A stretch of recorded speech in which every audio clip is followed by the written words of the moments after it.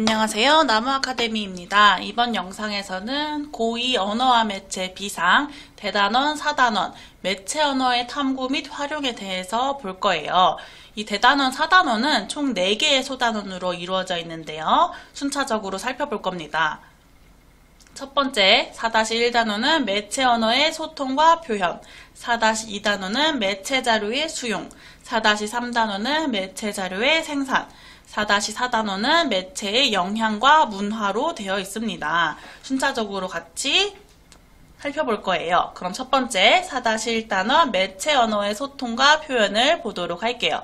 이 단원에서 가장 많이 출제된 문제 유형 먼저 설명해 볼게요. 첫 번째는 책, 신문, 인터넷, 텔레비전의 특성을 묻는 문제입니다. 기출문제를 통해서 보자면 이런 식으로 책에 기억 표시를 하고 신문에 니은 표시를 한 뒤에 기억과 니은을 비교하는 문제 그리고 보기에 제시된 이 매체들을 비교하는 문제 5번도 마찬가지죠. 이렇게 비교하는 문제가 많이 출제됐어요. 두 번째로는 두근두근 내 인생의 소설과 영화를 비교하는 문제입니다. 이 두 개의 매체가 다르기 때문에 이 매체 언어를 어떻게 표현했는지 그걸 묻는 문제겠죠. 이것도 기출문제를 통해서 보자면 이렇게 가의 소설을 제시하고 나의 영화를 제시한 후 두 개의 표현 방식을 비교하는 문제가 출제되었습니다. 그 다음 세 번째로는 특정 상황에서 어떤 매체를 선택하여 정보를 구성하는 것이 적절한지를 묻는 문제예요. 이거는 학습활동에 나온 이 네 개의 상황에 대한 문제를 말합니다. 각각의 상황에 어떤 매체가 적절한 건지를 묻는 문제예요. 서술형으로도 출제되었기 때문에 쉬워 보이지만 문장으로 쓰는 연습이 요구됩니다. 그러면 이제 같이 본문을 보도록 하겠습니다. 현대 사회에서 사람들은 다양한 매체로 정보를 수용한다. 그런데 이러한 매체들은 정보를 제시하는 언어의 측면, 정보의 양과 질, 정보 제공의 속도와 보존 방법, 정보 제공자의 범위의 폐쇄성과 개방성 등의 차이가 있다. 대표적으로 책, 신문, 텔레비전, 인터넷의 정보 구성 및 유통 방식의 차이를 살펴보자. 이제 순서대로 책과 신문, 텔레비전, 인터넷을 설명하는 글이 나옵니다. 책 먼저 볼게요. 책은 일정한 목적이나 내용, 형식에 맞추어 사상, 감정, 지식 따위를 글 또는 그림으로 표현하여 적거나 인쇄한 매체이다. 이처럼 책은 주로 문자 언어로 정보를 구성한다. 일반적으로 책은 신문이나 텔레비전, 라디오, 인터넷 등에 비해 정보 제공의 속도가 떨어진다. 왜냐하면 책을 만드는데 오랜 시간이 걸리잖아요. 책이 뭐 실시간으로 만들어지는 것도 아니고 몇 시간 아니면 며칠 만에 만들어지는 것도 아니기 때문에 정보 제공의 속도는 가장 떨어집니다.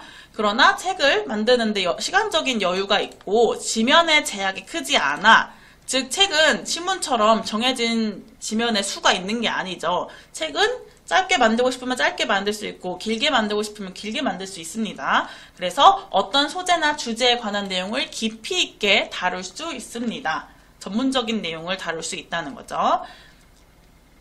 따라서 책은 어느 정도 전문성을 갖춘 필자가 내용을 제공한다. 책이라는 매체의 정보 제공자의 특징에 해당합니다. 전문성을 갖춘 필자가 내용을 제공한다는 거. 그 다음 신문을 볼게요. 신문은 문자 언어나 사진을 중심으로 정보를 구성한다는 측면에서 책과 유사하다. 그러나 신문은 제한된 마감 시간과 지면 때문에 책에 비해 상세한 내용을 다루기는 어렵다. 반면 책과 달리 신문은 보도기사, 사설, 일기예보 등 시의성 있는 정보를 신속하게 전달할 수 있다. 이는 텔레비전과도 공통적인 특성이다. 예를 들어서 요즘 사회적으로 이슈인 문제에 대해서 책을 쓰고 싶어요. 그러면은 내가 책을 발간할 때쯤이면은 그게 이제 더 이상 사회적으로 이슈의 문제가 아닐 수 있죠. 책은 시의성이 떨어집니다. 그런데 신문과 텔레비전은 시의성 있는 정보를 신속하게 전달할 수 있다는 특징이 있습니다. 그 다음 세 번째 텔레비전입니다. 텔레비전은 영상, 음향, 문자 언어, 음성 언어 등으로 정보를 구성합니다. 제시하는 언어의 측면이 앞에 나왔던 책과 신문보다는 더 다양한 거죠. 신문과 텔레비전은 많은 대중에게 정보를 빠르게 전달한다는 측면에서 영향력과 파급력이 크다. 영상 매체인 텔레비전은 생생한 현장 화면을 통해 정보를 제시하므로 신문에 비해 정보가 실제감 있게 전달된다. 예를 들어 지진과 같은 긴급한 재난이 발생했다면 신문보다는 텔레비전이 재난에 관한 보도를 더 사실적이고 현장감 있게 전달할 수 있을 것이다. 그 다음 인터넷입니다. 인터넷은 문자 언어, 음성 언어, 영상, 음향, 하이퍼링크 등을 복합적으로 사용하여 정보를 구성합니다. 텔레비전과 비슷하긴 한데 텔레비전과 다르게 하이퍼링크가 있죠. 그리고 인터넷은 전문가가 아니더라도 누구나 쉽고 신속하게 다양한 분야의 정보를 제공할 수 있어요. 이게 인터넷의 가장 큰 특징이라고 할 수 있습니다. 책이랑 완전 대조되는 내용이죠. 책은 전문성을 지닌 필자가 내용을 제공했는데 인터넷은 누구나 전문성이 없어도 쉽고 신속하게 정보를 제공할 수 있어요. 그렇기 때문에 믿을 수 없는 내용이 많겠죠. 인터넷상에 제공되는 정보가. 최근 인터넷에서 소규모 신문사에서 신문을 제작하여 발표하거나 한 개인이 다양한 소재로 방송을 하기도 한다. 하지만 이렇게 누구든 정보의 생산자이자 소비자가 될 수 있다는 개방성 때문에 인터넷상에는 그만큼 신뢰하기 어려운 정보도 많다. 개방성이 높아서 신뢰성이 낮은 거죠. 정보의 질은 떨어질 수 있습니다. 그러므로 인터넷상의 정보를 수용할 때에는 그 정보의 타당성과 정확성, 신뢰성을 따져볼 필요가 있다. 그리고 우리가 인터넷을 통해 사람들에게 정보를 제공할 때에도 정확하고 믿을 만한 내용을 다루어야 한다. 정보의 타당성, 정확성, 신뢰성을 따져봐야 한다는 거 기억해둬야 돼요. 타당, 정확, 신뢰에 빈칸을 뚫고 빈칸에 들어갈 적절한 단어를 묻는 문제도 출제되었습니다. 그 다음 매체 언어의 표현과 가치를 볼게요. 이 두 광고는 모두 헌혈에 참여해달라는 메시지를 전달하고 있다. 다르게 표현됐지만 전달하고자 하는 메시지, 광고의 주제는 똑같다는 거죠. 그러나 그 표현 방식에는 차이가 있다. 왼쪽 광고의 경우 우선 헌혈이라는 단어를 직접적으로 제시하여 주제를 명확하게 드러내고 있고 생명이 피다라는 문구와 꽃이 피는 그림을 함께 배치하여 헌혈을 통해 꽃처럼 새 생명이 피어날 수 있다는 메시지를 비유적으로 상징적으로 표현하고 있습니다.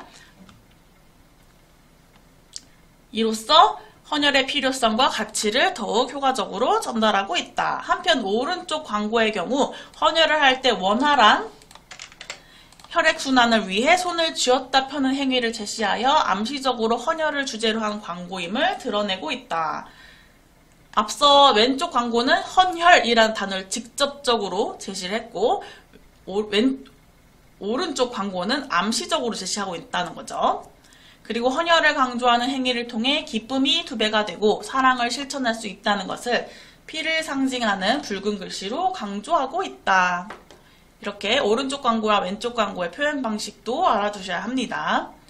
이처럼 매체 자료는 매체 언어를 창의적으로 표현하여 동일한 메시지라도 다양한 방식으로 전달할 수 있다. 한편 우리가 매체 자료를 수용할 때에는 그 창의적인 표현 방식을 탐구하는 것뿐만 아니라 매체 자료가 지닌 심미적 가치를 향유하는 일도 중요하다.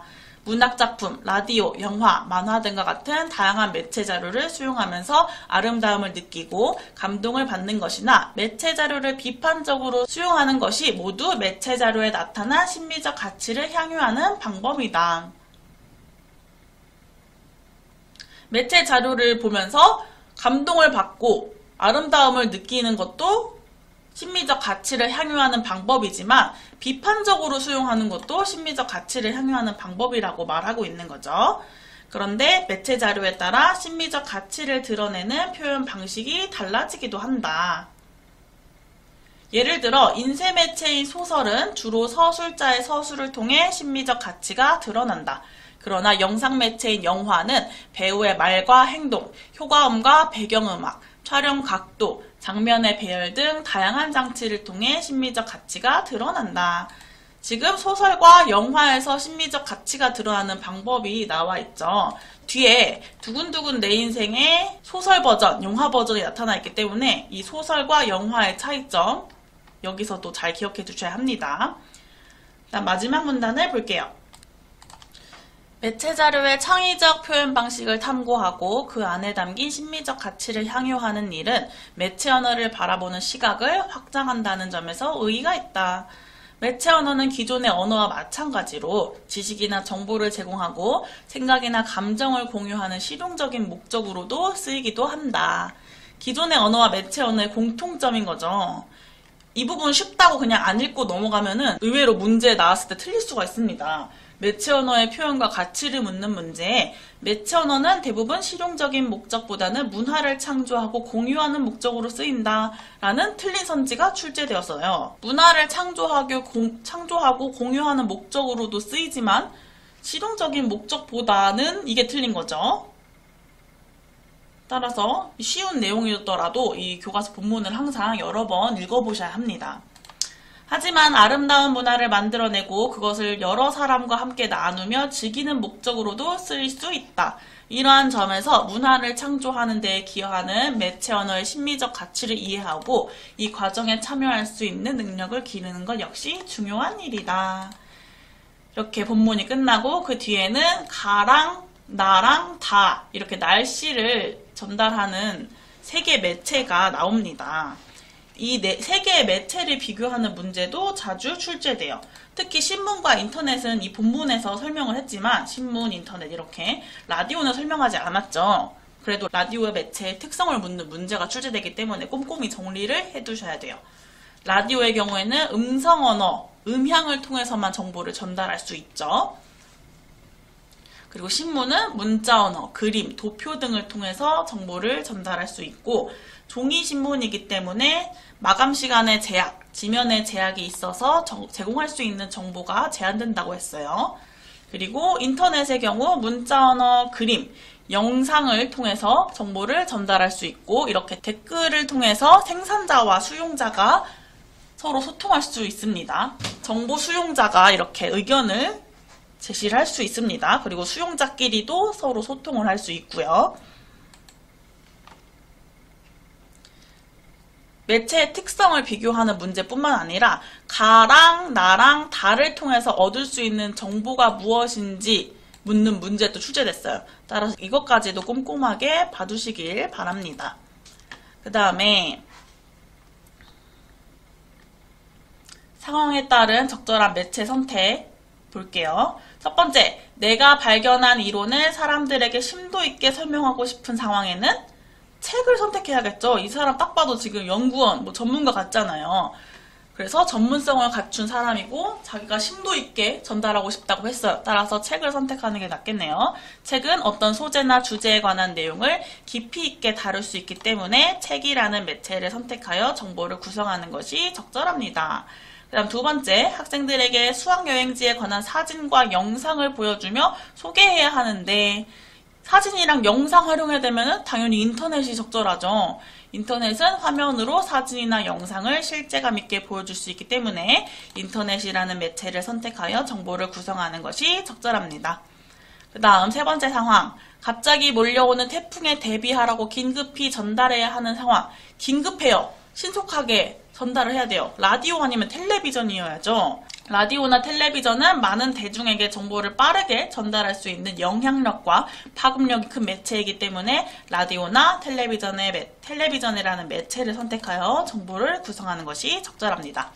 그다음 마지막 내일 과학 시간 준비물을 반 친구들에게 알려야 하는데 이건 보다 개인적인 상황이니까 뭐 라디오, 텔레비전 이용할 수 없죠 이 학생이 이 학생은 휴대전화를 이용하는 게 적절하겠죠. 휴대전화는 정보 전달의 속도가 빨라서 반 친구들에게 알려야 할 내용을 신속하게 전달할 수 있기 때문에 휴대전화라는 매체를 선택하여 정보를 구성하는 것이 적절합니다. 그 다음으로는 두근두근 내 인생, 가와 나의 차이점을 한번 정리를 해볼게요. 똑같은 내용인데 가는 서하가 보낸 편지를 문자 언어로 서술하고 있습니다. 아름에게 안녕 나는 이서야 이서아라고 해 이렇게 서가 아름에게 쓴 편지임을 문자 언어로 제시를 하고 있죠. 그리고 그 아이의 목소리가 내 속에서 메아리쳐 자꾸 울렸다. 여기서 알 수 있듯이 지금 아름이가 1인칭 주인공 서술자이고 서하의 목소리가 아름의 머릿속에서 자꾸 메아리쳐 울리는 것을 직접 서술하고 있습니다. 그래서 인물이 처한 상황과 인물의 생각이 구체적인 글로 표현되어 있기 때문에 독자가 인물이 처한 상황을 쉽게 이해할 수 있죠. 이를 통해서 작품의 심리적 가치가 잘 드러나고 있습니다. 반면에 나는 서하가 보낸 편지를 읽는 서하의 목소리를 효과음으로 전달하고 있어요. 소설은 문자 언어를 통해서만 내용을 전달하지만 영화는 음성 언어, 음향, 영상 등을 통해서 내용을 전달할 수 있죠. 그리고 서하의 목소리가 아름에게 환청처럼 들리는 장면을 효과음으로 처리하고 있습니다. 이것도 차이점에 해당하죠. 그리고 마지막 장면을 보면은 서하로 상상되는 여자아이의 그림자가 보이는 장면을 보여주어 아름의 내면 심리를 간접적으로 전달하고 있어요. 직접적으로 서하가 궁금하다 이렇게 표현하고 있는 건 아니죠. 구체적인 설명 대신 다양한 기법으로 촬영, 편집된 장면을 통해 인물이 처한 상황을 상상할 수 있는데 이를 통해 작품의 심리적 가치가 잘 드러나고 있습니다. 이렇게 4-1단원을 살펴봤어요. 그러면 이제 기출문제를 몇 문제 풀어보도록 하겠습니다. 가장 많이 출제되는 문제 유형인 매체를 비교하는 문제 3번 문제를 한번 풀어볼게요. 영상을 멈추고 풀어보시기 바랍니다.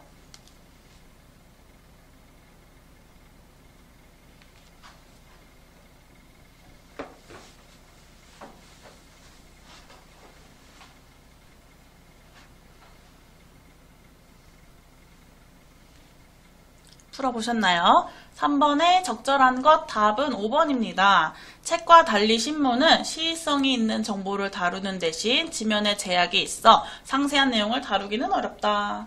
책과 달리 신문은 보도기사, 뭐 사설, 일기예보 등 시의성 있는 정보를 신속하게 전달할 수 있죠. 근데 신문은 제한된 마감 시간과 지면 때문에 책에 비해서는 상세한 내용을 다루기 어렵다고 했어요. 5번 적절합니다. 1번부터 볼게요. 책은 인터넷에 비해 정보 제공자의 범위가 개방적이다. 정보 제공자의 범위가 개방적인 것은 인터넷이죠. 책은 어느 정도 전문성을 갖춘 필자가 내용을 제공하는 한편 인터넷은 전문가가 아니더라도 누구나 쉽고 신속하게 정보를 제공할 수 있어요.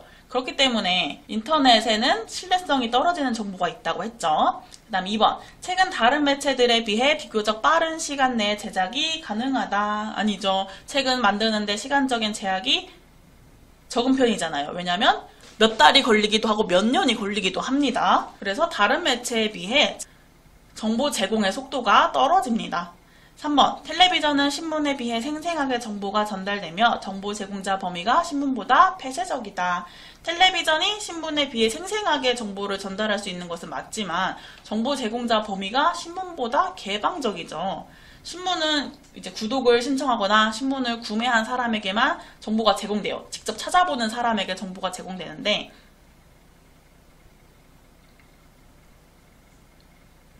이에 비해 텔레비전이나 라디오 같은 경우에는 시간대별로 프로그램을 선택해서 듣기는 하지만 일단 틀어놓으면 정보가 계속 제공된다는 점에서 정보 제공의 개방성이 상대적으로 높은 편이에요. 다음 4번 인터넷은 전문성 있는 정보 생산자를 특징으로 하며 따라서 정보의 신뢰성과 타당성이 높은 편이다. 앞서 설명했듯이 인터넷은 전문가가 아니더라도 누구나 쉽고 신속하게 정보를 제공할 수 있다고 했죠. 이러한 개방성 때문에 인터넷상에서는 신뢰하기 어려운 정보도 많아요. 따라서 인터넷의 정보는 신뢰성과 타당성이 낮은 편이라고 할 수 있습니다. 3번에 적절한 것은 5번이었어요. 그 다음 한 문제 더 풀어볼게요. 이 가랑 나랑 다를 비교하는 문제를 풀어볼게요. 가는 라디오고 나는 신문, 다는 인터넷입니다. 8번 문제를 한번 풀어보세요. 영상 멈추시고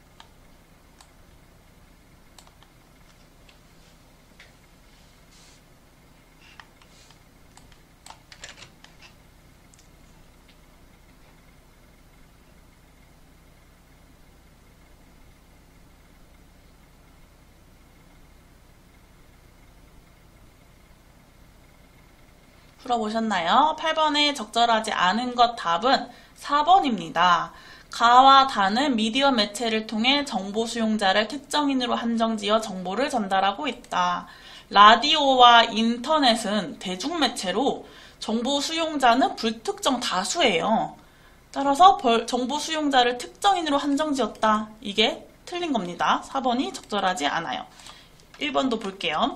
가는 나, 다와 달리 음성 언어만으로 정보를 구성하여 전달하고 있다. 라디오는 신문이랑 인터넷과 달리 음성 언어나 음향만을 사용할 수 있죠. 적절합니다. 그리고 나는 가, 다와 달리 지역별 날씨를 도표를 구성하여, 도표로 구성하여 정보를 전달하고 있다. 이것도 적절하고요. 3번. 다는 가, 나와 달리 개별 수용자에 따라 지역을 설정하여 날씨 정보를 얻을 수 있다.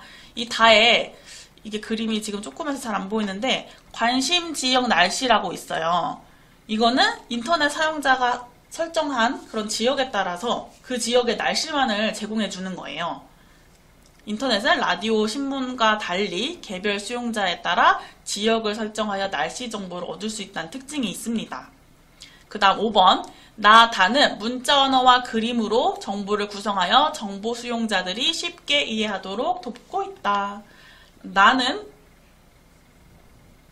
문자 언어, 그림, 도표를 사용했고 인터넷, 이 다는 문자 언어, 그림, 영상을 활용했죠. 따라서 둘 다 문자 언어와 그림으로 정보를 구성했다는 거 적절합니다.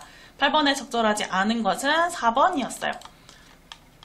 이렇게 4-1 단원 매체 언어의 소통과 표현 살펴봤습니다. 이제 그 다음 단원도 순차적으로 살펴볼 건데 4단원 중에서 가장 출제가 많이 된 단원은 4-1단원이에요. 그래서 여러분들이 공부하실 때 4-1단원을 보다 중점적으로 공부하시면 될 것 같습니다. 다음으로 4-2단원 매체 자료의 수용에 대해서 보도록 하겠습니다. 이 단원도 출제 유형 베스트 먼저 살펴볼게요.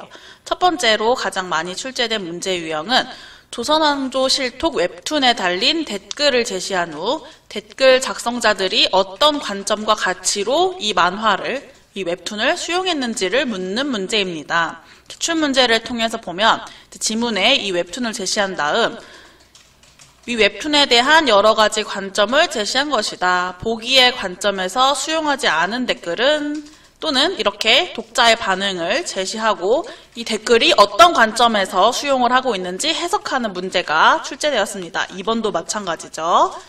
그리고 4번도 마찬가지, 5번도 마찬가지고요. 그 다음 두 번째로 많이 출제된 문제 유형은 교과서 본문을 바탕으로 매체 자료의 수용에 대해 묻는 문제입니다. 이 본문을 제시하고 단순히 글의 내용을 묻는 문제입니다. 이것도 기출문제를 통해서 살펴보면 이렇게 윗글의 내용과 일치하지 않는 것은 중심 내용으로 적절한 것은 기억의 이유로 가장 적절한 것은 이런 식으로 단순히 이론적인 내용에 대해서 묻는 문제가 출제되었습니다. 그 다음 세 번째로 많이 출제된 문제 유형은 학습 활동에 제시된 투표에 대한 매체 자료에 대해 묻는 문제입니다. 이거죠. 이 매체 자료에 대해서 묻는 문제예요. 이것도 기출 문제를 보면 이렇게 투표에 대한 매체 자료를 제시한 다음 윗글의 영상물을 바라보는 관점이 나머지와 다른 것은 제작자의 의도로 적절하지 않은 것은 이런 식으로 문제가 출제되었습니다. 그러면 본문부터 같이 차례대로 살펴보도록 할게요. 다양한 관점과 가치를 고려한 매체 자료의 수용입니다. 현대 사회에서 매체는 단순한 의사소통의 도구를 넘어 다양한 문화를 형성하는 토대로 작용하고 있다. 이에 따라 매체 자료를 올바르게 수용하는 태도도 더욱 중요해지고 있는데 특히 매체 자료를 수용할 때에는 다양한 관점과 가치를 고려해야 한다. 왼쪽 사진은 한 패션쇼에서 모델이 독특한 의상을 입은 모습이다. 누군가는 심미적인 관점에서 이 옷의 아름다움을 높이 평가할 수 있지만 누군가는 실용적인 관점에서 이 옷은 활동성이 떨어지므로 옷으로서의 가치가 낮다고 평가할 수 있다. 사람마다 관점이 다르기 때문에 이렇게 동일한 대상에 대한 평가가 다르게 나타날 수 있다는 거죠. 이렇게 옷에 대한 평가도 그렇고 매체 자료 역시 관점과 가치에 따라서 사람마다 다르게 받아들여질 수 있습니다. 관점과 가치에 따라 평가가 달라질 수 있다는 것을 이렇게 예를 통해서 설명을 하고 있죠. 매체 자료로 예를 들어보자. 우리는 텔레비전 드라마를 예술적 가치를 중시하여 평가할 수도 있 텔레비전이라는 매체가 지닌 사회적 영향력과 규범적 가치를 강조하여 평가할 수도 있다. 만약 드라마에서 폭력적인 장면이 나왔을 때 전자의 입장, 예술적 가치를 중시하는 입장이라면은 내용 전개상 꼭 필요하다면 폭력적인 장면이 나와도 괜찮다고 반응할 것이다. 왜냐하면 예술적인 가치, 즉 작품성을 높이기 위해서는 폭력적인 장면도 괜찮다라고 해석을 할 수 있다는 거죠. 그런데 후자의 입장, 매체가 지닌 사회적 영향력과 규범적 가치를 강조하는 입장이라면 어린아이나 청소년도 시청이 가능한 텔레비전에서 폭력적인 장면이 나오는 것은 적절하지 않다고 반응할 것이다. 또한 텔레비전 드라마는 현실 세계를 그대로 반영한다는 관점에서 수용할 수도 있지만 현실을 새롭게 만들어가는 역할을 한다는 관점에서 수용할 수도 있다. 이렇게 이 문단에서는 텔레비전 드라마를 수용하는 네 가지 관점에 대해서 나왔 죠. 예를 들어서 예술적 가치를 중시, 여기에 기억 표시를 하고 기억의 관점에서 매체 자료를 수용한 것으로 적절하지 않은 것은 이런 문제도 출제될 수 있습니다. 아니면 수용자의 반응을 제시한 후 이 수용자가 어떤 관점에서 수용했는지를 묻는 형태로도 출제되기 때문에 이 수용하는 관점 알아두시길 바랍니다. 그 다음 마지막 문단을 볼게요. 이처럼 동일한 텔레비전 드라마를 수용하더라도 관점과 가치에 따라 그 양상이 달라질 수 있다. 우리는 단일한 관점이나 가치를 고집하기보다는 다양한 관점과 가치를 고려하면서 매체 자료를 비판적으로 수용하려는 태도를 지녀야 한다. 매체 자료를 수용하는 올바른 태도가 나온 거죠. 매체 자료를 비판적으로 수용해야 한다는 거. 그래야만 매체 자료가 지니는 긍정적인 면과 부정적인 면을 발견할 수 있고 동일한 매체 자료에 대한 사회 구성원들의 다양한 의견도 이해할 수 있기 때문이다. 이렇게 텔레비전 드라마를 예로 들어서 매체 자료를 수용하는 다양한 관점을 설명했습니다. 그 다음에 이제 투표에 대한 매체 자료가 나오는데 첫 번째 장면에서는 이렇게 선거와 관련된 나이 제한을 제시하고 선거법, 헌법 등을 제시해서 신뢰성을 높이고 있었고 두 번째 장면에서는 전문가의 말을 인용해서 신뢰성을 높이고 있습니다. 참정권 행사를 일찍 할수록 선거에 대한 관심이 커져 평생 꾸준히 투표할 가능성이 높다. 이거는 참정권 행사의 나이를 낮출 때, 즉 투표 연령을 낮추었을 때 기대되는 긍정적인 효과를 얘기하고 있는 거죠. 즉, 이 매체 자료 생산자의 관점은 투표 연령을 낮추어야 한다는 관점이겠네요. 그 다음 세 번째 장면 보면 나라의 독립 여부를 결정짓는 중요한 정치 문제에 16세부터 투표에 참여하는 것이 타당하다. 왜냐하면 투표 결과가 미래 세대의 삶에 막대한 영향을 미치기 때문이다. 이것도 투표 연령을 낮춰야 한다는 주장에 대한 근거로 활용할 수 있는 거죠. 이 자료들을 통해 제작자가 말하고자 하는 바가 무엇인지 묻는 문제가 출제됩니다. 또 이 영상물의 관점이랑 동일한 것, 동일하지 않은 것을 묻는 문제도 출제돼요. 따라서 이 영상물의 관점 정확하게 파악해 두셔야 합니다. 그 다음 장면을 보면 세계 243개국 중 216개국 92% 중앙선거관리위원회라는 공신력 있는 기관의 발표 자료를 인용하고 이렇게 구체적인 수치를 제시해서 실성을 높이고 있네요. 경제협력개발기구 OECD 34개 국가 중 대한민국을 제외한 모든 국가에서 18세에 투표권을 부여하고 있다. 이렇게 OECD의 다른 나라와의 비교를 통해 문제 상황을 드러내고 18세에 우리도 투표권을 부여해야 한다라는 주장을 뒷받침하고 있죠. 그 다음 마지막 자료입니다.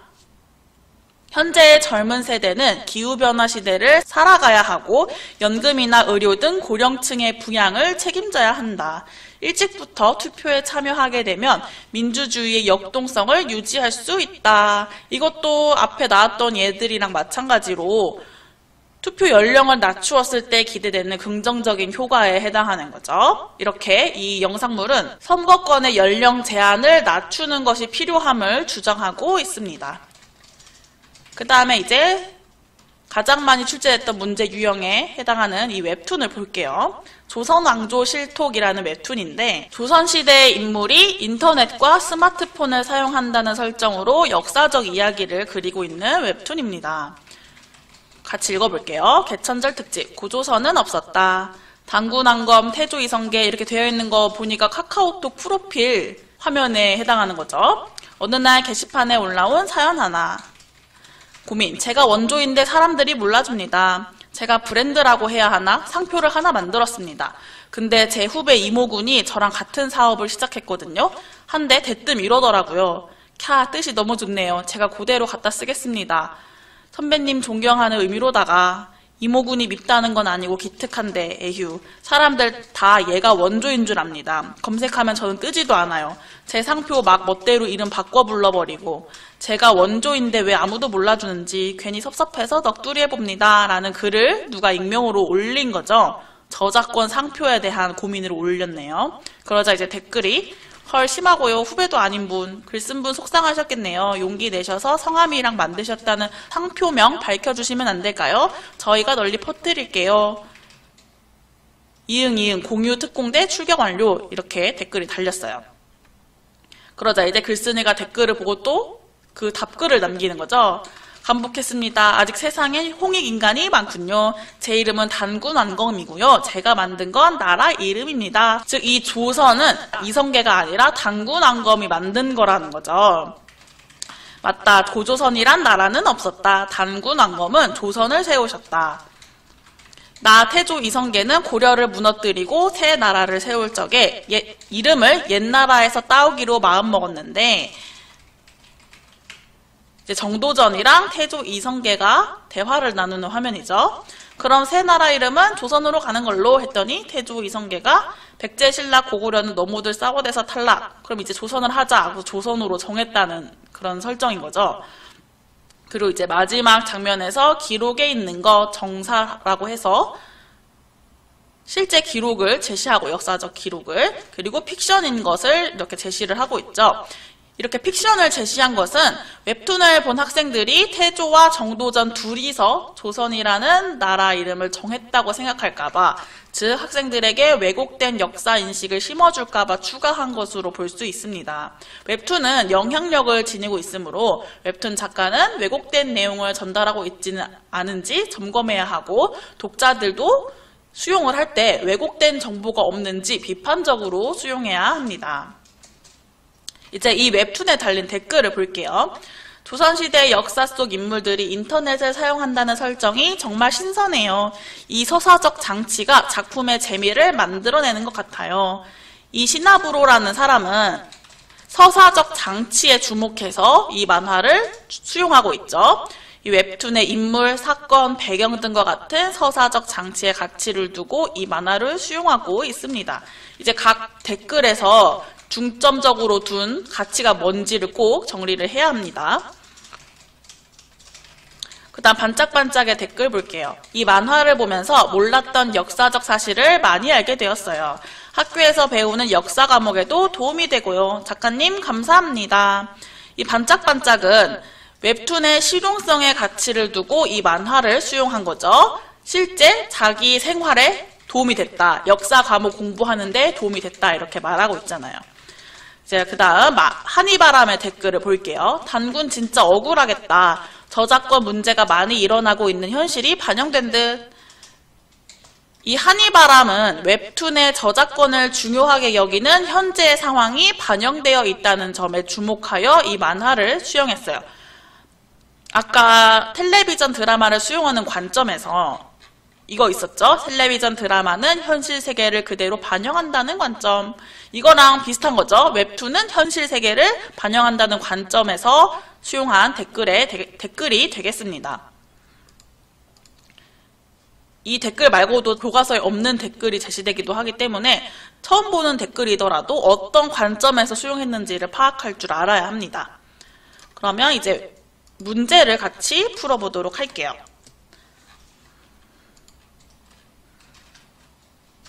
3번 문제를 보겠습니다.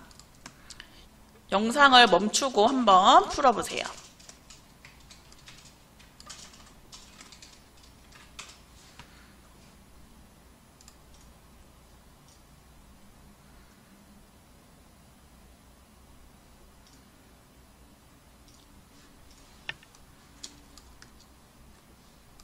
풀어보셨나요? 3번에 적절하지 않은 것은 2번입니다.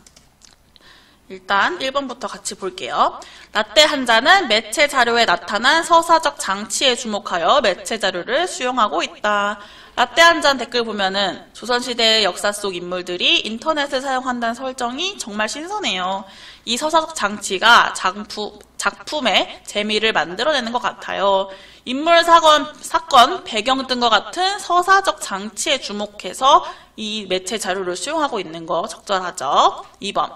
별이맘은 매체가 지닌 사회적 영향력과 부정적인 면에 주목하며 매체 자료를 수용하고 있다. 별이맘 댓글 볼게요.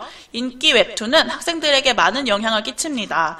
이 웹툰은 역사적 사실을 소재로 하고 있는 만큼 역사를 왜곡한 부분은 없는지 한 번 더 점검할 필요가 있다고 생각합니다. 별이맘은 매체가 지닌 사회적 영향력에 주목하며 매체 자료를 수용하고 있죠. 그런데 부정적인 면에 주목하며 매체 자료를 수용하고 있지는 않습니다. 그래서 2번이 적절하지 않은 것이 돼요. 3번도 볼게요. 귀염뽀짝은 매체 자료가 지니는 긍정적인 면에 주목하며 매체 자료를 수용하고 있다.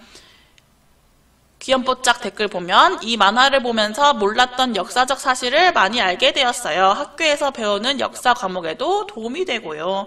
작가님 감사합니다.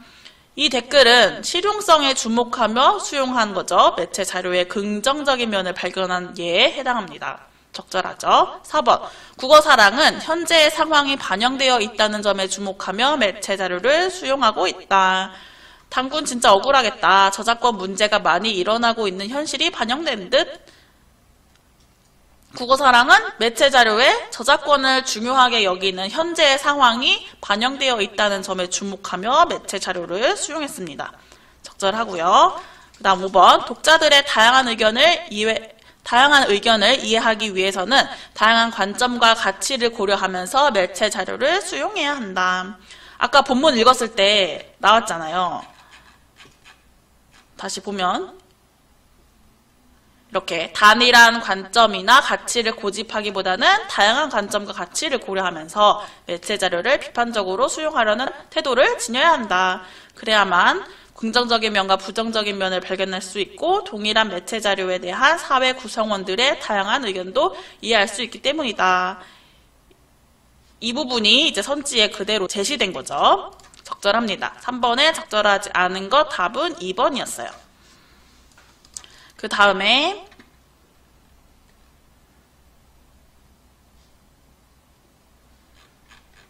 (7번) 문제도 풀어볼게요.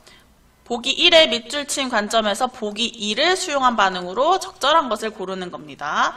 이것도 영상을 멈추고 풀어보세요.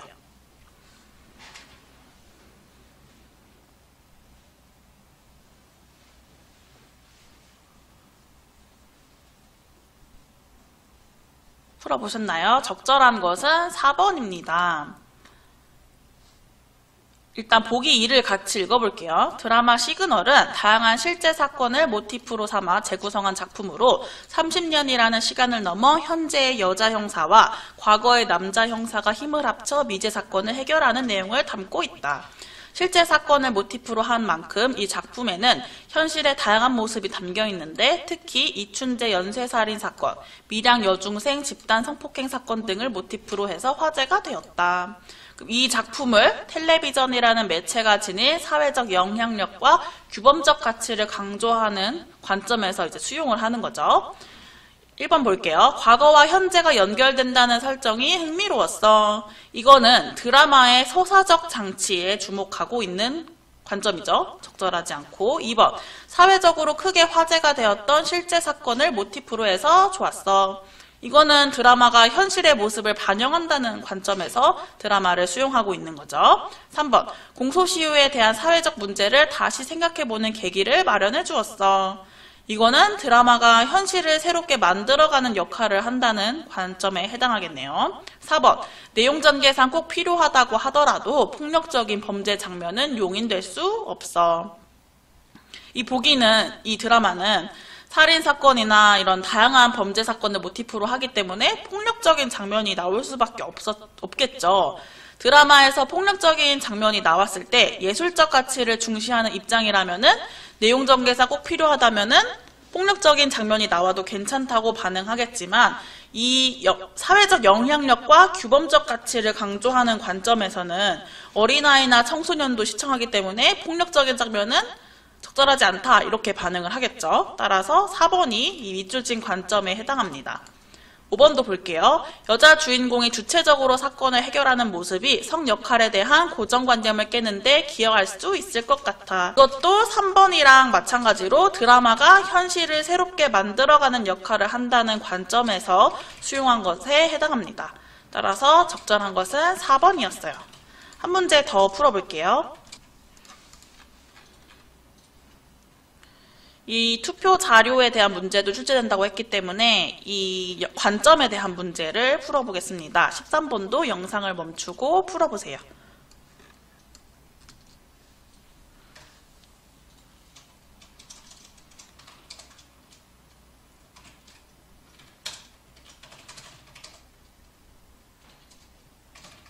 풀어보셨나요? 윗글의 영상물을 바라보는 관점이 나머지와 다른 것은 정답은 3번입니다. 일단 이 영상물은 선거권의 연령 제한을 낮추는 것이 필요하다는 주장을 하고 있죠. 근데 3번 보면은 만 18세라면 사회에서 자신의 역할을 수행하고 자신의 행동에 책임지기에 충분한 나이이다. 이거는 윗글의 주장에 동의하는 관점입니다. 이 영상물과 관점이 일치해요. 그런데 1번부터 볼게요. 고등학생은 입시로 인해 정치에 관심을 가질 여유가 없다. 이거는 선거권의 연령 제한을 낮추면 안 되는 이유에 해당하죠. 영상물을 바라보는 관점이 이 제시된 매체 자료와 일치하지 않습니다. 2번. 고등학생들에게 선거권이 주어진다면 공교육에 혼란을 초래할 수 있다. 선거권의 연령 제한을 낮췄을 때의 문제점이기 때문에 이것도 관점이 일치하지 않아요. 4번. 선진국의 정책 변화에 따르기보다는 우리나라의 특수한 상황과 인구 구성의 특성을 고려해야 한다. 이것도 선거권의 연령 제한을 낮추면 안 되는 이유에 대한 내용이니까 관점이 일치하지 않죠. 만 18세는 입시에 큰 영향을 받는 연령층이므로 정치인들이 이들의 표를 얻기 위해 실현 가능성이 낮은 입시 위주의 공약을 남발할 수도 있다. 이것도 선거권의 연령 제한을 낮췄을 때 문제점이기 때문에 낮추면 안 된다는 입장이죠. 일치하지 않아요. 따라서 관점이 나머지와 다른 하나는 3번이 됩니다. 지금까지 매체 자료의 수용에 대해서 살펴봤고 그 다음으로 4-3단원 매체 자료의 생산에 대해서 보도록 하겠습니다. 4-2단원이 매체 자료의 수용이었고 4-3단원은 매체 자료의 생산이잖아요. 따라서 매체 자료의 수용과 생산을 한꺼번에 묶어서 묶는 문제도 출제되기 때문에 여러분들은 4-2랑 3을 엮어서 더불어 4-1단원까지 전체적으로 엮어서 공부를 하셔야 합니다. 4-3단원도 출제 유형 베스트 먼저 볼게요. 가장 많이 출제된 문제 유형은 음식을 소재로 생산된 텔레비전 프로그램, 대중가요, 인터넷 블로그에 대해 묻는 문제입니다.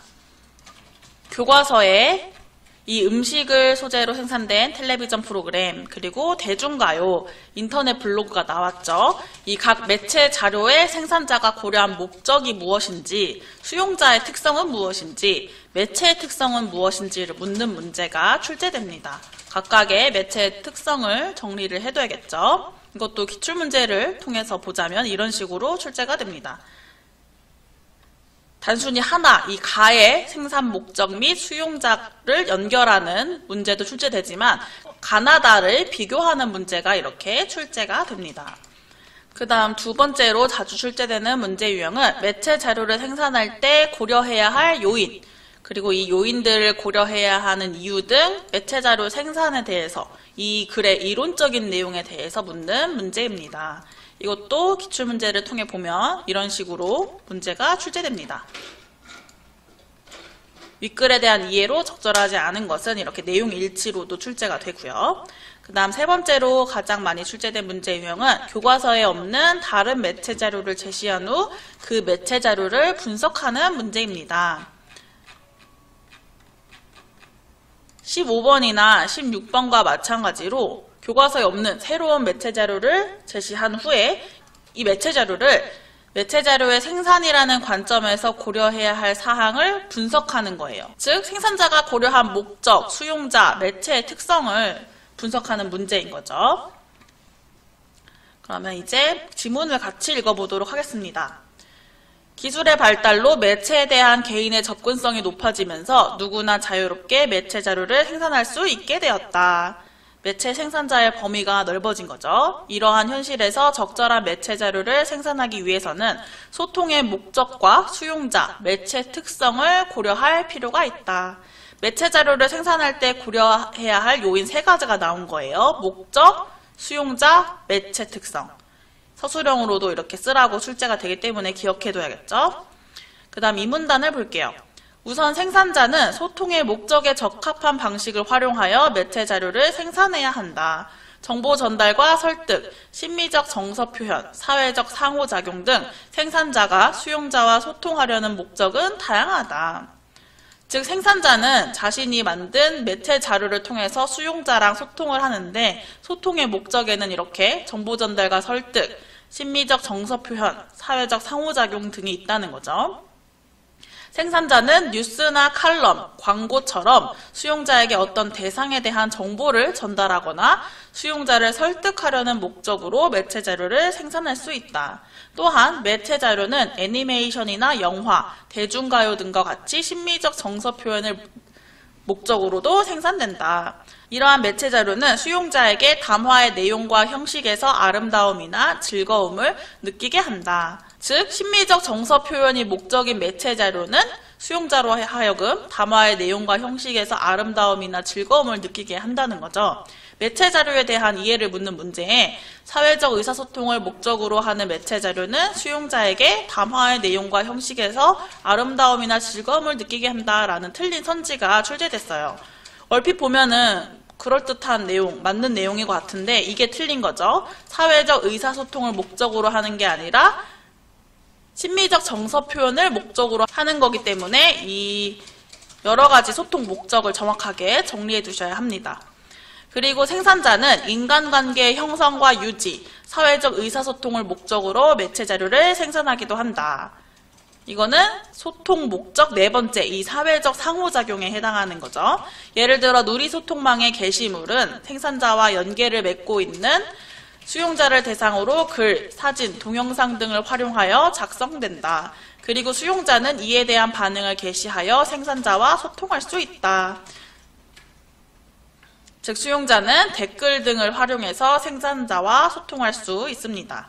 매체 자료의 생산자는 수용자의 연령과 성은 어떠한지, 수용자가 다수인지 소수인지, 전달하려는 내용에 대한 수용자의 배경 지식은 어느 정도이며 그들의 관심사는 무엇인지 등을 고려해야 한다. 이거는 매체 자료를 생산할 때 고려해야 할 요인 두 번째, 수용자의 특성인 거죠. 수용자가 지닌 특성에 따라 전달하고자 하는 내용의 범위랑 양, 그리고 이를 효과적으로 전달하기 위한 표현 방식이 달라질 수 있기 때문에 생산할 때 이러한 수용자의 특성을 고려해야 합니다. 생산자는 수용자의 연령을 고려해서 내용의 범위를 결정하고 난이도를 조정하여 표현 방식을 달리할 수 있다. 또한 수용자의 성별을 고려하여 편협하거나 차별적인 내용은 없는지, 즉, 뭐 성차별적인 언어 표현은 없는지 확인하고 전달 방식은 적합한지를 판단하기도 한다.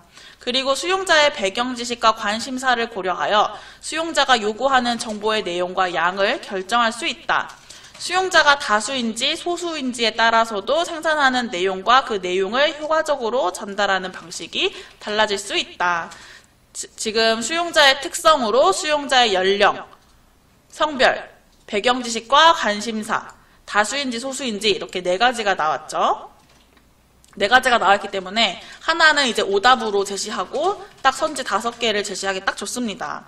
이런 매체 자료에 대한 이해를 묻는 문제에 매체 자료의 생산자는 수용자의 성별을 고려하여 내용의 범위를 결정하고 난이도를 조정할 수 있다라는 틀린 선지도 출제되었어요. 이걸 왜 틀린 거냐면 내용의 범위를 결정하고 난이도를 조정하는 거는 성별을 고려하여가 아니라 연령을 고려하여였죠. 따라서 틀린 선지가 됩니다. 이것도 여러 번 읽어봐야겠죠. 그 다음 마지막 문단을 볼게요. 마지막으로 매체 자료의 생산자는 활용하고자 하는 매체의 특성을 고려해야 한다. 매체 자료를 생산할 때 고려해야 할 요인 세 번째입니다. 매체의 특성. 매체마다 언어적 특성이 다르므로 이에 적합한 방식을 활용하여 매체 자료를 생산할 필요가 있다. 예를 들어 똑같은 상품을 광고하더라도 라디오는 음성 언어만으로 어, 정보를 전달해야 하는 반면 텔레비전은 다양한 시각 자료를 활용할 수 있으므로 차이가 정보를 제시하는 언어가 매체마다 다르기 때문에 똑같은 내용을 전달하더라도 표현 방식이 매체마다 다르다는 거죠. 또한 매체가 지닌 파급력이 각기 다르므로 자료를 생산할 때에는 이 점도 중요하게 고려해야만 한다. 신문이나 라디오, 텔레비전과 같이 다수의 수용자를 대상으로 하는 매체들은 파급력이 큰 만큼 특히 내용을 신중하게 검토하여 생산할 필요가 있다. 지금 매체의 특성을 고려해야 하는 이유 두 가지가 나왔죠. 매체마다 언어적 특성이 다르니까, 그리고 매체마다 파급력이 다르니까 이 이유까지 기억해 두셔야 합니다. 그 다음 이제 음식을 소재로 한 텔레비전 프로그램, 대중가요, 인터넷 블로그를 볼게요. 우선 이 텔레비전 프로그램은 이 사진에서도 알 수 있지만 영상이죠. 영상이 있고 음향도 있고 이런 자막과 같은 문자 언어도 있고 음성 언어도 있고 여러 가지 언어를 복합적으로 사용하고 있어요. 따라서 매체 언어의 복합 양식성이 반영되어 있다고 볼 수 있죠. 그리고 이, 이 텔레비전 프로그램은 음식을 만드는 방법에 대한 정보 전달을 목적으로 생산되었습니다. 이렇게 단순히 만드는 순서, 방법을 안내하고 있잖아요. 그리고 이 텔레비전 프로그램의 생산자는 요리에 관심이 있는 사람들을 수용자로 보고 있겠죠. 텔레비전의 특성상 영상 언어로 전달되고 있고 음식과 관련한 시각 자료와 출연자들의 음성 언어 그리고 자막으로 처리되는 문자 언어 등이 복합적으로 사용되었습니다. 이 특징 꼭 선지에 제시되기 때문에 정확하게 알아둬야 합니다. 그 다음 대중가요를 볼게요. 대중가요는 원래 음성으로 전달되지만 여기서 지금 가사만 나온 거죠. 이 대중가요는 어머니의 사랑에 대한 심미적 정서 표현을 목적으로 생산되었고 부모님에 대한 그리움의 감정을 느껴본 다수의 성인들을 수용자로 보고 있습니다. 대중가요로 음악의 운율에 맞추어 언어를 배열했으며 최종적으로는 음성 언어로 전달된다는 특징이 있어요. 그 다음 마지막 인터넷 블로그입니다. 인터넷 블로그도 텔레비전 프로그램과 마찬가지로 복합적으로 사용을 해요. 문자 언어, 음성 언어, 영상, 음향, 하이퍼링크 등을 복합적으로 사용해서 정보를 구성한다는 특징이 있습니다. 여기서 하이퍼링크가 인터넷 블로그만 가지는 특징에 해당하겠죠. 이 블로그는 맛집에 방문한 경험을 다른 사람들과 나누는 사회적 상호작용을 목적으로 생산되었습니다. 그리고 여기 보시면은 이웃님들께 정말 강추합니다. 이런 식으로 적혀 있잖아요. 이 수용자는 블로그 작성자의 이웃이에요. 다의 수용자는 가와 나에 비교해서 그 수가 상대적으로 적은 거죠. 이는 다의 생산자가 이웃님들, 즉 자신의 블로그와 서로 관계를 맺고 있는 사람들을 수용자로 보고 있기 때문입니다. 가랑 다는 많아요. 하지만 다는 이웃님으로 한정되어 있다는 것이 특징입니다. 이거는 인터넷 블로그 게시글로 시각 자료와 문자 언어가 함께 사용되었고 문자 언어는 수용자와의 직접적인 상호작용에 대한 인식 때문에 구어체의 성격을 띈다는 것이 특징입니다. 그 다음에는 이제 신문 기사가 나와 있는데요. 신문 기사의 목적, 수용자, 매체 특성을 묻는 문제도 출제돼요. 우선 신문 기사의 특징, 이런 표제가 있다는 거죠. 표제가 있다는 것. 그리고 마련됐다와 같이 희동 표현을 사용한다는 것도 기사문의 고유한 언어적 특성에 해당하고 이렇게 인용 표현을 사용하는 것도 마찬가지입니다. 또 육하 원칙에 따라서 구성했다는 것도 신문 기사의 언어적 특성에 해당해요. 그리고 이 부분에서 알 수 듯이 청소년 진로 박람회 꿈 한 발 더 가까이를 개최한다 하고선 이거에 대해서 설명을 하고 있잖아요. 이 기사의 목적은 청소년 진로 박람회 개최에 관한 정보를 전달하는 것에 있습니다. 수용자는 불특정 다수의 수용자겠죠. 신문기사는 지면이나 웹상에서 기사를 확인할 수 있는 불특정 다수의 수용자를 대상으로 한다. 그 중에서도 진로에 관심이 있는 청소년, 학부모, 교사 등이 이 기사의 주된 수용자가 되겠습니다. 그리고 매체의 특성은 아까도 말했지만 표제 및 육하 원칙 구성, 그리고 인용 표현, 그리고 피동 표현도 있었죠. 이런 것들이 기사문 고유의 언어적 특성에 해당하고요. 신문 기사는 매체의 파급력이 크고 공신력이 있기 때문에 수용자가 신문 기사의 내용을 객관적이고 정확한 사실로 받아들일 것이라는 그런 특징도 있습니다. 마지막으로 미세먼지에 관한 카드 뉴스 볼게요. 이 카드 뉴스는 미세먼지의 개념 그리고 위험성, 대처 방안을 주제로 한 카드 뉴스입니다. 우선 카드 뉴스는 여러 개의 이미지와 이미지별로 삽입된 문구를 통해 이야기 형식으로 뉴스를 전달하는 매체 자료예요. 이 카드 뉴스도 마찬가지로 목적, 수용자, 매체 특성을 정리해둬야겠죠. 그리고 더불어서 카드 뉴스를 제작하는 과정에 대해 묻는 문제도 출제됐어요. 기출문제를 통해서 보면 이렇게 6번과 같이 미세먼지를 주제로 카드뉴스라는 매체 자료를 생산하여 발표한다고 할 때 조건에 맞게 제작 과정의 구상을 서술하시오.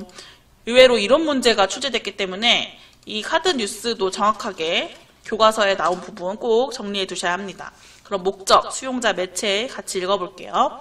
미세먼지의 정확한 개념과 인체에 끼치는 부정적 영향, 그리고 미세먼지에 대처하는 방안을 알려주고자 한다. 이를 위해 미세, 미세먼지의 발생 원인 및 미세먼지가 일으키는 질병, 구체적인 대처 방안 등을 조사한다. 이게 목적이 되겠고, 불특정 다수가 수용자가 될 것이며 미세먼지 문제에 관심도가 높은 사람들이 읽게 될 것이다.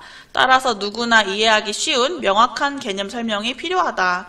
그래서 이렇게 미세먼지가 뭔지 명확하게 개념 설명을 하고 있죠. 그리고 황사랑 다르다라고 제시하고 있죠. 그 다음 매체의 특성을 볼게요. 카드뉴스는 이미지와 짧은 글로 한 장면을 구성하고 이를 연결하여 내용을 전달한다. 따라서 미세먼지 문제를 잘 보여주는 이미지를 준비하고 전달할 내용을 요약하여 간결하게 제시한다. 이게 매체의 특성, 즉 카드 뉴스의 특성에 해당합니다. 아까도 말했듯이 제작하는 과정에 대해 묻는 문제가 출제되기 때문에 각 장면마다 표현 방식을 정리를 해두셔야 됩니다. 12번 꼭 이렇게 읽어보시길 바랍니다. 그러면 이제 기출 문제를 같이 풀어볼게요. 가장 많이 출제되는 문제 유형이었던 음식을 소재로 한 이 세 가지 매체 자료를 비교하는 문제를 풀어보겠습니다. 3번 영상을 멈추고 풀어보세요.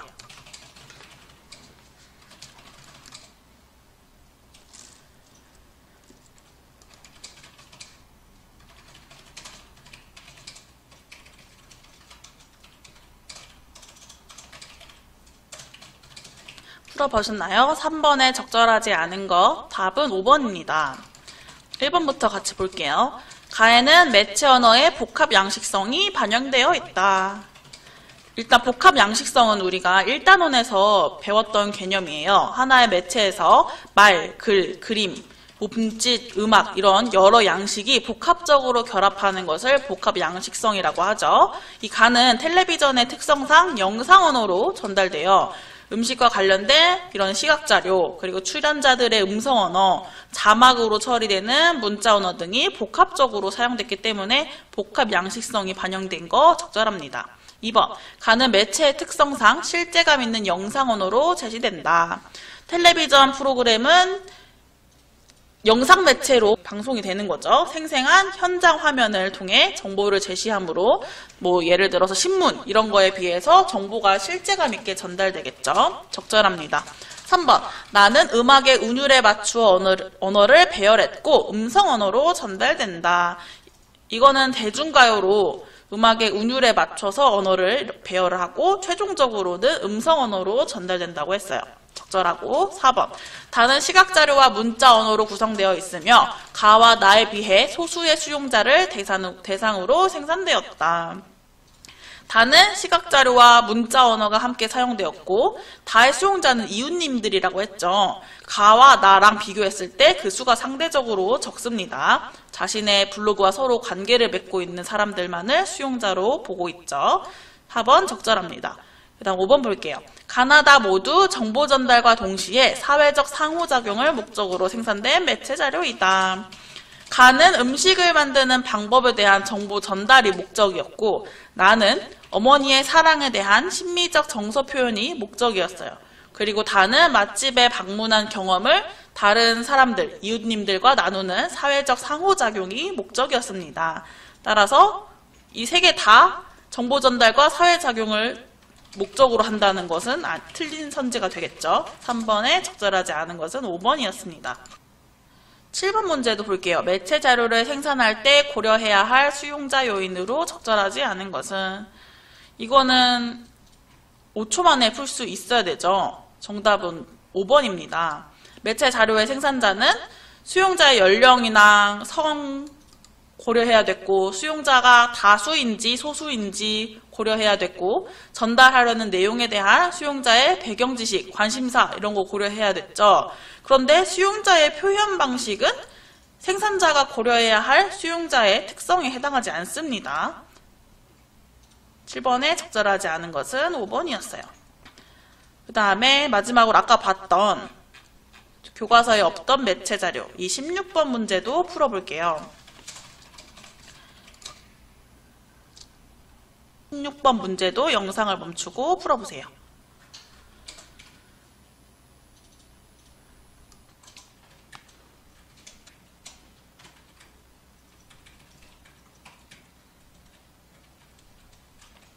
풀어보셨나요? 16번에 적절한 것은 3번입니다. 1번부터 같이 볼게요. 달걀 프라이의 기초라는 제목에서 알 수 있듯이 매체 자료의 생산 목적은 주장과 설득이다. 달걀 프라이의 기초라는 제목에서 알 수 있듯이 이 매체 자료의 생산 목적은 달걀 프라이에 대한 정보 전달이죠. 주장과 설득 적절하지 않습니다. 2번 매체 자료는 수용자에게 내용과 형식에서 아름다움이나 즐거움이라는 심미적인 정서를 느끼게 한다. 이 매체 자료는 정보 전달을 목적으로 하기 때문에 적절하지 않죠. 내용과 형식에서 아름다움이나 즐거움이라는 심미적 정서를 느끼게 하는 것은 애니메이션이나 영화, 뭐 대중가요 등과 같이 심미적 정서 표현을 목적으로 생산된 매체 자료에 해당합니다. 3번 달걀 프라이의 기초라는 제목을 통해 수용자의 특성을 요리의 초보자로 파악하고 매체 자료를 생산했음을 알 수 있다.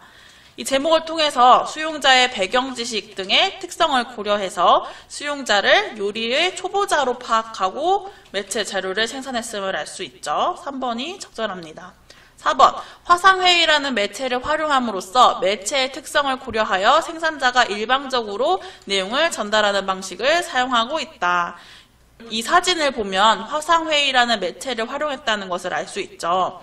그런데 이거는 매체의 특성을 고려해서 생산자가 수용자와 쌍방향으로 소통하는 방식을 사용하고 있는 것입니다. 일방적이라고 해서 틀렸습니다.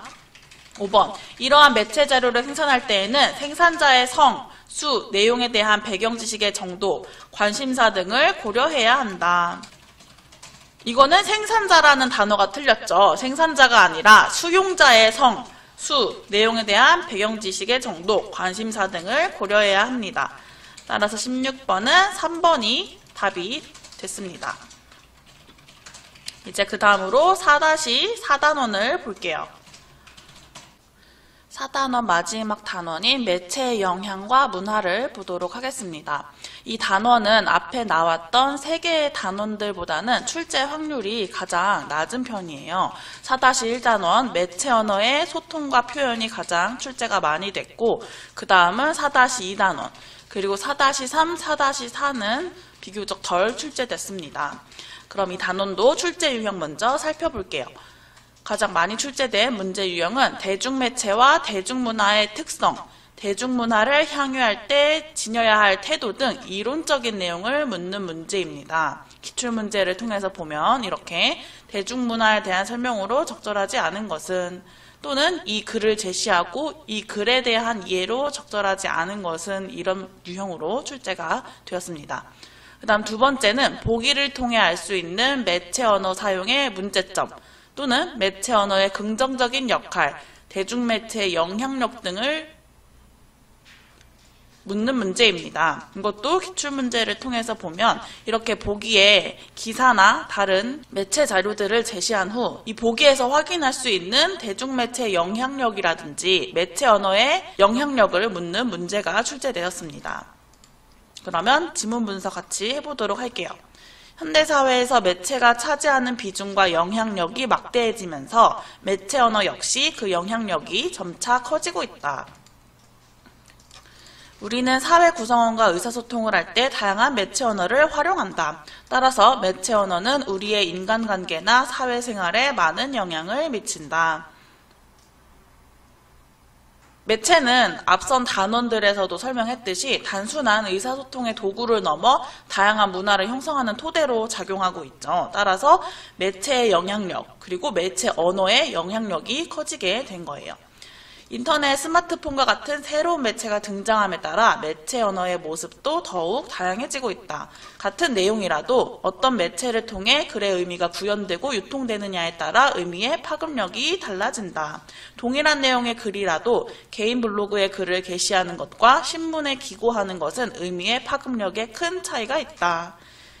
이게 바로 매체 선택이 중요한 이유에 해당하겠죠. 매체마다 파급력이 다르기 때문에 같은 내용이라도 어떤 매체를 통해 전달되는지에 따라서 그 내용의 파급력 또한 다른 것입니다.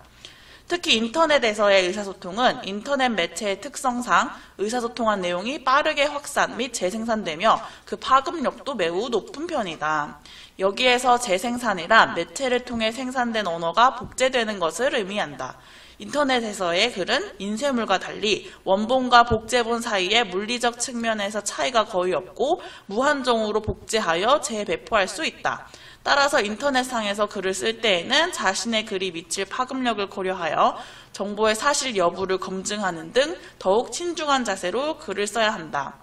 지금 인터넷을 통한 의사소통의 특성이 나오고 인터넷상에서 의사소통을 할 때 유의할 점도 나왔죠. 근데 이 부분은 우리 앞선 단원에서 봤던 매체 자료의 생산, 즉 매체 자료를 생산할 때 지녀야 할 태도랑도 관련이 있습니다.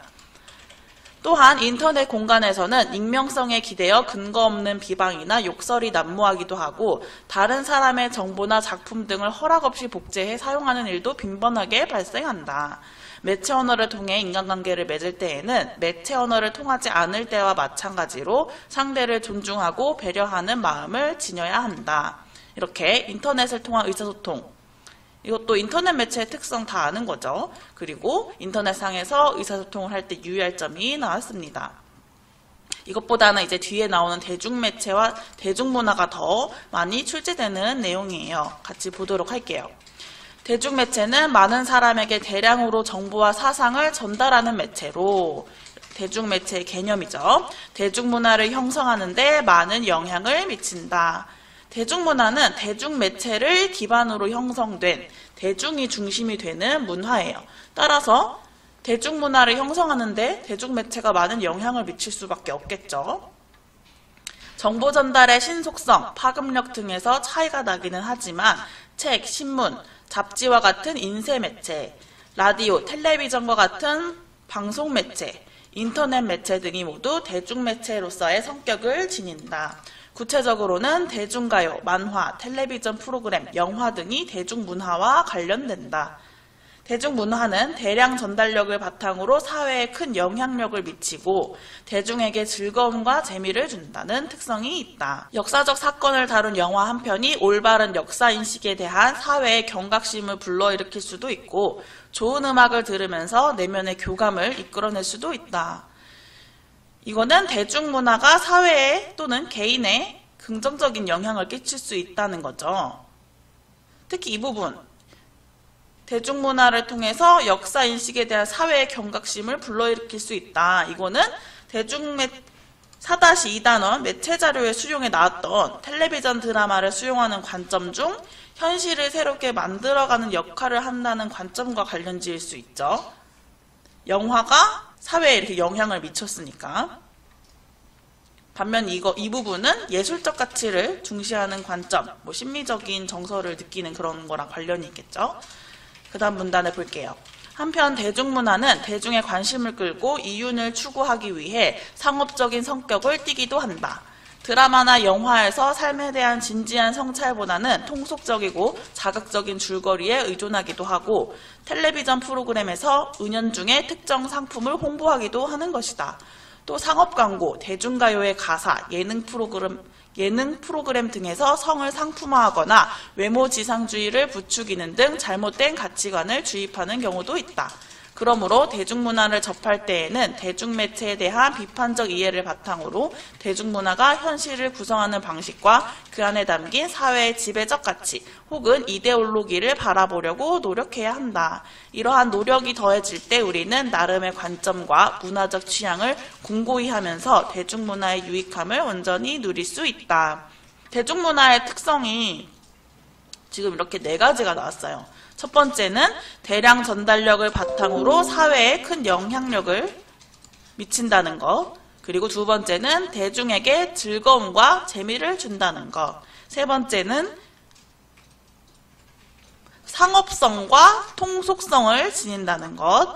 그리고 네 번째는 은연중에 특정 상품을 홍보하거나 잘못된 가치관을 주입할 수 있다는 것입니다.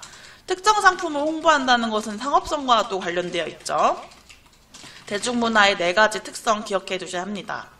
그리고 대중문화를 향유할 때 지녀야 할 태도, 비판적으로 이해하고 주체적으로 향유해야 한다는 것도 기억해 두셔야 합니다. 그리고 그 뒤에는 학습 활동에 이 만화가 제시되어 있는데요. 이 학생이 이제 전학생인 거죠. 안녕하세요. 전화 가서 모르는 것이 많아요. 앞으로 잘 부탁합니다. 라고 말을 했는데 친구들이 막 웃어요. 왜 웃지? 하고서 봤더니 이 전학생의 중학교 때 사진을 학급 누리집에 누가 올린 거예요. 충격, 전학생의 실체 이렇고. 이 전학 온 친구의 사진을 허락도 없이 올린 거죠. 이렇게 허락 없이 인터넷 게시판에 올린 행동은 다른 사람의 초상권을 침해한 잘못된 행동입니다. 특히 앞서 말했지만 인터넷 이런 매체는 빠르게 확산되고 재, 재생산된다고 했잖아요. 파급력도 크고 그래서 이런 행동은 상대방에게 큰 피해를 줄 수 있기 때문에 인터넷에 글이나 사진 등의 자료를 게시할 때에는 초상권 그리고 저작권을 침해하지 않았는지 철저히 점검하는 자세가 필요합니다. 그 다음에 나에는 신문 기사가 있는데요. 학교 폭력에 대한 기사예요. 보이지 않는 아픔, 가상 공간에서의 학교 폭력. 가상 공간에서의 학교 폭력은 누리소통망, 휴대전화의 대화 프로그램이나 문자, 문자 메시지 등을 이용해 지속적으로 상대를 괴롭히는 행위를 말한다. 단체 대화방에서 피해 학생에게 집단으로 욕설을 하거나 굴욕적인 사진을 공개하는 떼카. 대화방에서 나가도 계속 초대에 빠져나가지 못하게 괴롭히는 땡땡 감옥 등이 이에 해당한다. 이와 같은 가상 공간에서의 학교 폭력이 물리적 학교 폭력만큼이나 무서운 이유는 다음과 같다. 첫째, 시공간에 제약이 없어 언제 어디서든 피해 학생들이 학교 폭력에 노출된다. 물론 둘 다 나쁜 거지만 물리적 학교 폭력은 이제 학교에 갔을 때만 애들이 괴롭히겠죠. 하지만 가상 공간에서의 학교 폭력은 인터넷이라는 게 시공간에 제약이 없기 때문에 언제 어디서든 계속 이루어진다는 거죠. 다음 둘째, 겉으로 잘 드러나지 않아 부모와 교사가 발견하기 어렵다. 물리적 학교 폭력은 이제 선생님들이나 다른 반 학생들도 다 알 수 있지만 신체적인 폭력을 가하면은 상처가 나고 그러기 때문에 알 수 있지만 가상 공간에서의 학교 폭력은 말을 하지 않으면 알 수가 없죠. 겉으로 잘 드러나지 않아서 부모와 교사가 이 문제를 발견하기가 어렵습니다. 셋째, 가해 학생은 피해자와 직접 대면하지 않기 때문에 죄가 된다는 사실을 간과하기 쉽다. 이제 괴롭히는 학생들은 때리진 않았는데 그게 뭐가 문제냐 이렇게 생각을 할 수 있죠. 대면하지도 않았기 때문에 죄가 된다고 생각을 하지 않는 경향이 있습니다. 넷째, 피해 학생이 누리소통망의 대화 내용을 다시 보고 싶지 않아 지우는 경우가 많은데 이러한 경우 지운 내용의 복원이 힘들어 피해 사실 입증에 어려움을 겪게 된다. 이렇게 매체 언어 사용의 문제점에 대해서 다루고 있는 기사가 나왔습니다. 가상 공간에서 친구를 따돌리고 괴롭히는 것은 잘못된 행동이죠. 물리적인 폭력뿐 아니라 가상 공간에서 언어로 가해지는 폭력 역시 피해자에게 정신적으로 큰 상처를 주기 때문입니다. 이처럼 매체 발달에 따른 의사소통의 다양성을 올바르게 활용하지 못하고 다른 사람을 비방하거나 괴롭히는 일에 활용하는 잘못된 사례가 많이 발생하고 있는데 가상 공간에서의 익명성이나 간접성에 기대어 다른 사람에게 상처를 주지 않았는지 자신의 매체 사용 태도를 반성하는 자세도 필요하겠습니다. 이 매, 매체 사용 태도에 대한 반성, 뭐 매체 언어 생활에 대한 반성은 5-3단원에서도 나오는 내용이에요.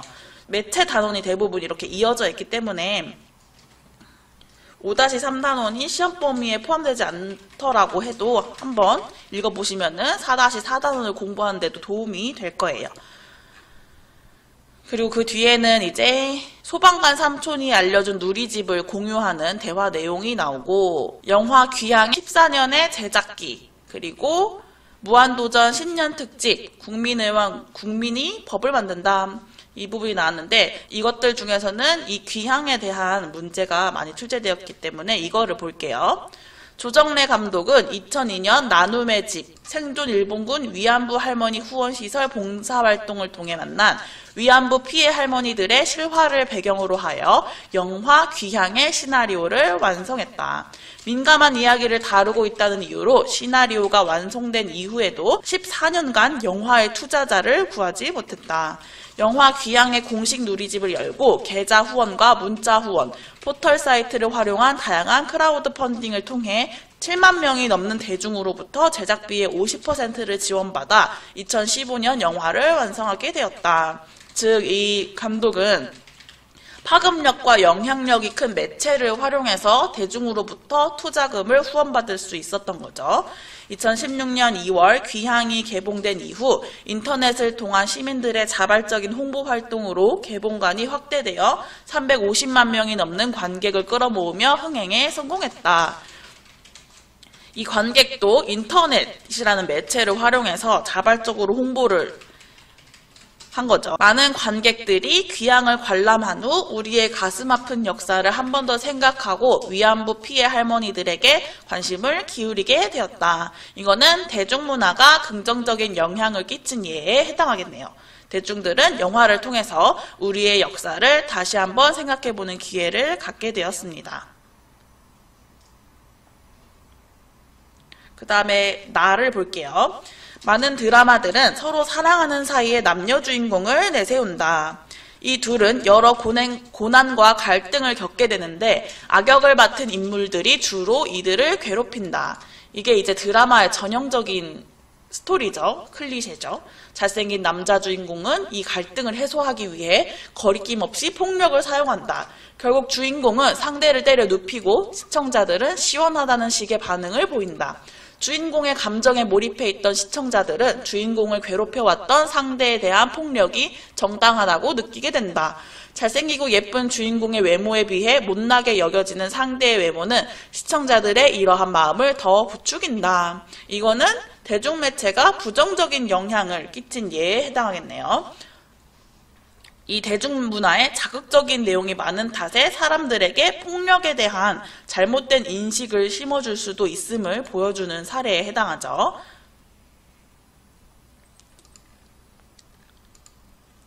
그러면 이제 기출문제를 풀어보도록 할게요. 가장 많이 출제됐던 문제 유형 1번을 먼저 풀어볼게요. 영상 멈추고 풀어보세요.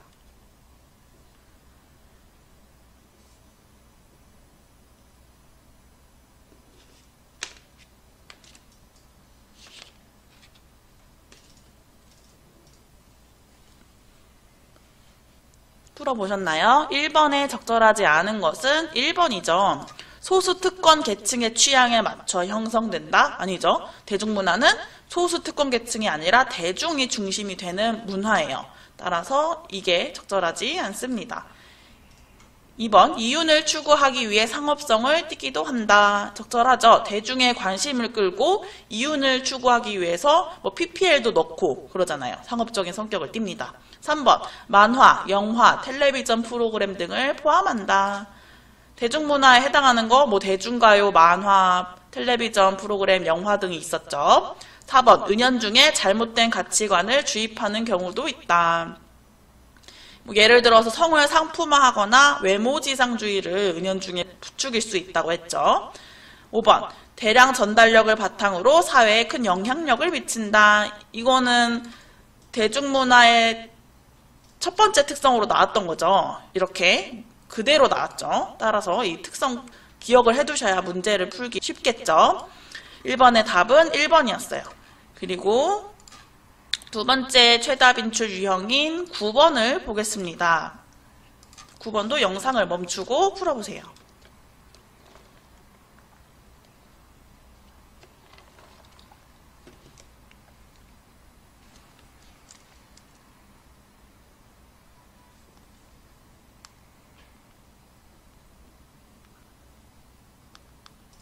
풀어보셨나요? 9번에 적절하지 않은 것 답은 4번입니다.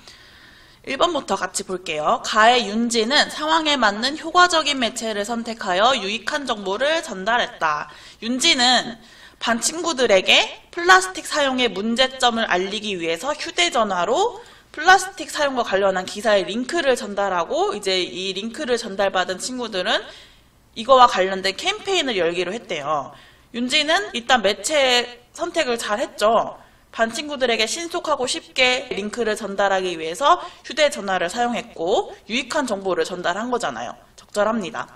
2번 나의 웹툰 A 작가는 매체가 지닌 영향력을 고려하여 역사를 왜곡한 부분은 없는지에 대해 검증해야 한다. 학생들 사이에서 유행하고 있는 웹툰 A는 역사적 사실을 재구성하여 창작된 것으로 역사적 사실이 아닌 허구적인 내용도 다루고 있다. 그러나 대부분의 학생들이 이 허구적인 내용도 역사적 사실로 받아들이고 있다. 우리 앞선 4-2단원에 조선왕조 실톡이라는 웹툰에 대해 나왔었죠. 그거랑도 연관되는 내용이죠. 웹툰 A 작가는 웹툰이라는 매체가 지닌 영향력을 고려하여 웹툰을 만들 때 역사를 왜곡한 부분은 없는지 철저히 점검을 할 필요가 있습니다. 그렇지 않으면 이렇게 웹툰 A를 읽은 학생들에게 잘못된 역사관을 심어줄 수 있기 때문이에요. 적절합니다. 3번 나의 웹툰 A 독자는 웹툰을 볼 때 왜곡된 정보가 없는지 비판적으로 수용해야 한다. 웹툰을 만드는 사람도 이런 자세가 필요하지만 웹툰을 보는 사람, 수용자, 웹툰 A 독자도 마찬가지로 웹툰을 수용할 때 비판적으로 수용을 해야겠죠. 역사적 사건을 다룬 웹툰을, 웹툰을 보는 역사를 왜곡한 부분은 없는지를 따져보는 등 비판적으로 웹툰을 수용해야 합니다. 적절하고요. 4번 다의 드라마 B는 대중문화의 특성 중 상업성과 통속성이 잘 드러나는 예에 해당한다. 드라마 B는 못생긴 외모로 왕따를 당하던 여자 주인공이 성형을 한 뒤 인생이 뒤바뀌게 된 내용을 다루고 있어 외모 지상주의와 성형을 부추기고 있다는 비판을 받고 있다. 이거는 잘못된 가치관을 주입할 수 있다는 대중문화의 특성을 보여주는 사례에 해당하죠. 상업성과 통속성이 잘 드러나는 예라고 보기는 어렵습니다. 특히 상업성은 여기서 확인할 수 없죠. 만약에 예를 들어서 뭐 특정한 성형외과가 계속 그 성형외과 상호명이 나온다. 그러면 상업성이겠지만 이것만으로는 상업성과 통속성을 연결짓는 것이 적절하지 않습니다. 그래서 4번이 적절하지 않아요. 5번도 볼게요. 라의 영화 C는 대중문화가 사회에 긍정적인 영향을 끼친 예에 해당한다. 영화 C는 폭군으로만 알려진 왕 땡땡의 업적에 대해 다루고 있다. 영화 C를 본 대중들은 땡땡이 무능한 왕인 줄로만 알았는데 대단한 업적을 이룬 왕이어서 놀랍다는 왕을 놀랍다는 반응을 보였으며 영화 C가 흥행하자 땡땡 왕에 대한 부정적인 인식이 긍정적으로 변하게 되었다. 이 영화를 통해서 대중들은 우리의 역사를 제대로 알게 되었고 이 영화 C는 대중문화가 사회에 긍정적인 영향을 끼친 예에 해당하겠네요. 적절합니다. 9번의 답은 4번이었어요. 지금까지 4-4단원 매체 영향과 문화에 대해서 살펴봤습니다. 이렇게 대단원 4단원인 매체 언어의 탐구 및 활용에 대해서 살펴봤는데요.